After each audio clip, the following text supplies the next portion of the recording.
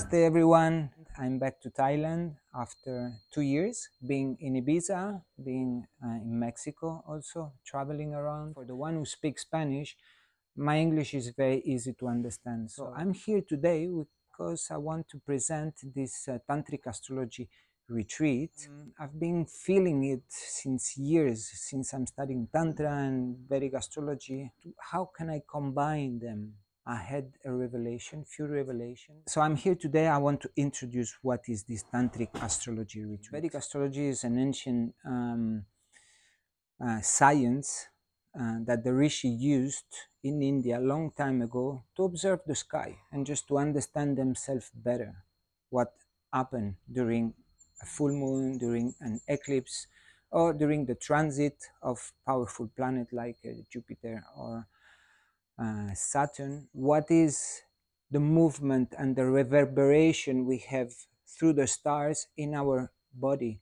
And our body is not just our physical body, it's our energetical body, our emotion and mental body and spiritual body, the five koshas. Tantra, in its uh, in its huge domain and the vastness, we are going to uh, add the tantra in this workshop going through the heart, from heart to heart. In a way to embody the planet, embody the zodiac sign, embody the meaning of the houses. Learn astrology from the heart and not from the intellect of Mercury. Mercury is the planet of intellect, okay? Discrimination, analyzing. We need it. We need our intellect hmm, to study. But we need our heart also to study, to feel it. Because remember, our hands, the sense of touch, is related to the heart chakra, to Anahata. Having some moment of transfiguration, having some moment of sharing, one on one and group sharing.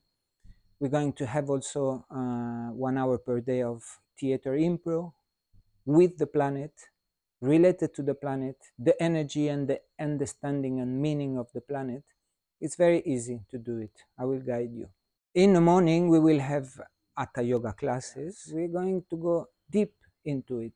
We're going to feel the chakras in the yoga postures and bring the planet, the meaning of the planet in each chakra. Remember, we have seven chakras and we have seven planets It's not as easy as I'm going to uh, explain it to you in a couple of words. But Saturn is ruling uh, Muladhara chakra. Venus is in uh, uh, Swadhisthana. Mars, for example, is in Manipura with the Sun and with Jupiter because they are fiery planet. They are Pitta planet. In the heart, we have Venus, of course, the planet of love and relationship, but we have also Jupiter, which is the guru. Gurus teach from the heart, from heart to heart, from guru to sannyasi, like in India. In here we have Mercury, in here we have Sun and Moon, and all the planets are related to uh, the Kundalini Shakti, the Sushumna uh, channel of energy. We have the center, central uh, channel of energy. Ida and Pingala are related to Rahu and Ketu, which are the north node of the moon and south node of the moon. So there is a lot of things that we are going to study. Astrology, the chakra system, the pranayamas, the yoga posture we're going to adapt, and then a lot of theory also. Morning theory about the planets, understand the meaning of the planet, the zodiac sign, the houses, and much more.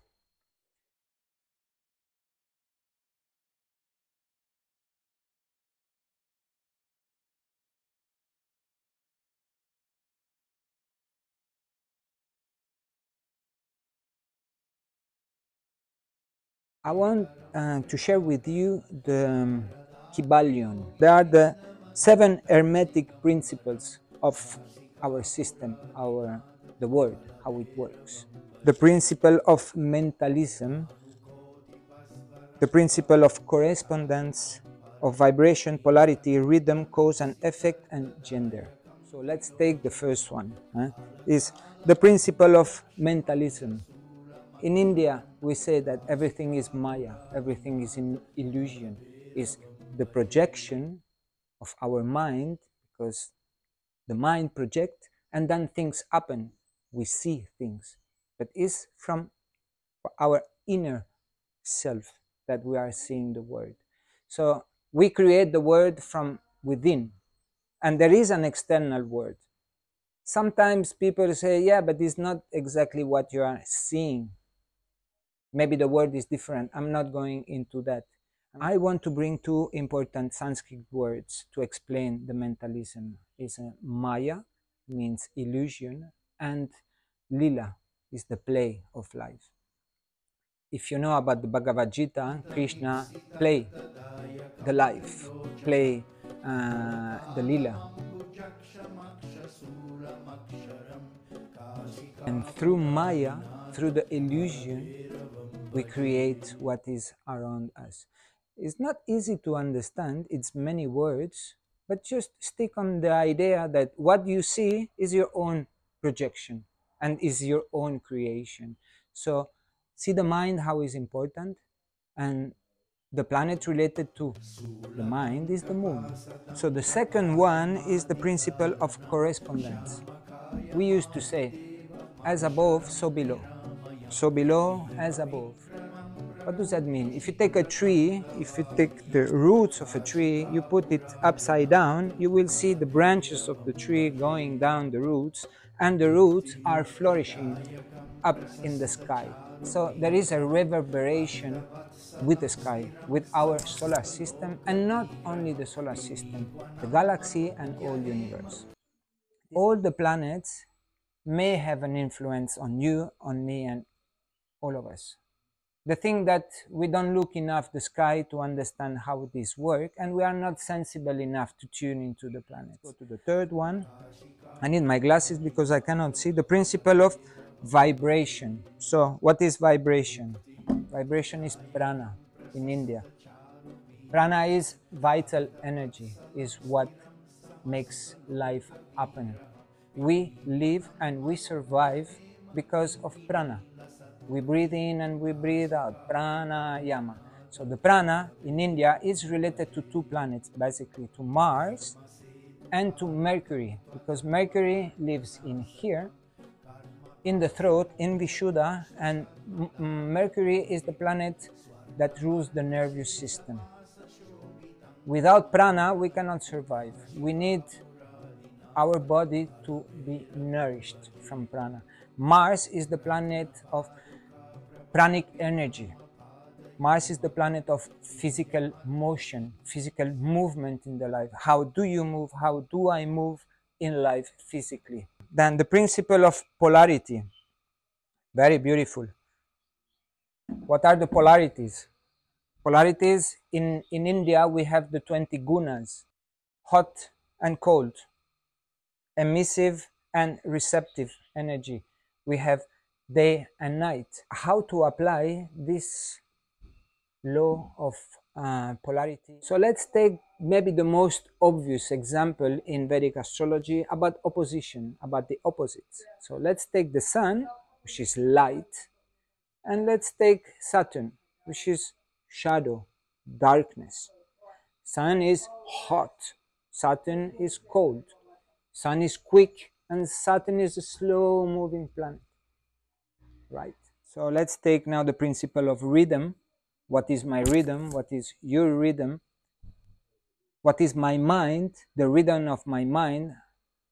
How do I perceive life? I have my timing. I'm not quick maybe as you, or I'm not slow as another person.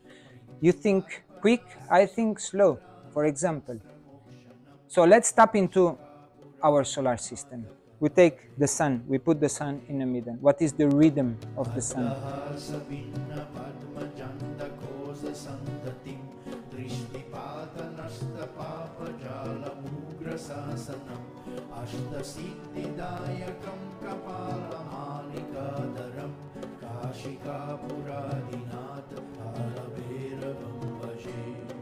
The moon has its own rhythm, and the rhythm of menstruation so the rhythm of the menstruation is uh, something that we see it every month. Women have it and men would be nice to be in touch with this. This is why in the, in the retreat we're going to speak about menstrual cycle, the moon. The moon represent the womb, the moon represent the menstrual cycle, and Venus, for example, represent the sexual pleasure and orgasm. So you see how we can play because the moon is also here with the sun because Ida and Pingala, they, they cross in Ajna chakra. Let's stop to the sixth one is the law of cause and effects. Saturn, Rahu and Ketu in India, in Indian Vedic astrology. Why Saturn? Because Saturn is a karmic planet and every action you do will have a consequences, right? Rahu and Ketu are karmic, karmic planets that uh, it would take me three hours to do a video just talking about Rahu and Ketu, but Rahu and Ketu are involved also in the law of karma, cause and effect. Ketu is where I'm coming from and Rahu where I head to, I'm heading to in this life, right? And the last one, the principle of gender. Beautiful. What can be the principle of gender in Vedic astrology? Moon, Sun, Venus, Mars, Venus, Mars, Shiva, and Shakti. Masculine principle, feminine principle. So, what is Shiva? Shiva is the pure consciousness, and Shakti, she is the matter. Everything you see in the world is Shakti. So, the gender in Vedic astrology, we study it as I said before. Check your Venus and check your Mars.